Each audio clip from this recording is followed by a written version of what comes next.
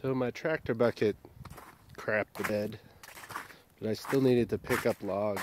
So I got these forklift forks and uh, made them a permanent part of what was left of the bucket.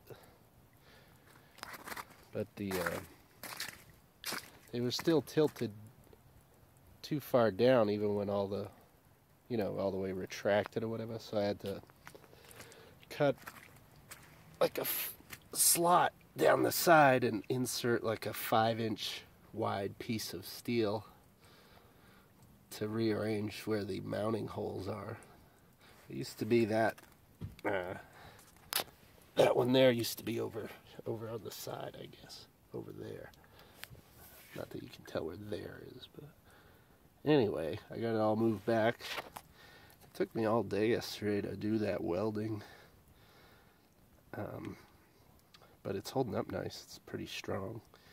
It doesn't bind or catch or anything. So I'm pretty happy. I did some butt welding, you know, two pieces of steel against each other. And it isn't pretty, but I'm getting better and better at this welding thing out of necessity. See, I did both sides. Not too bad. Keep it going on the ranch, baby.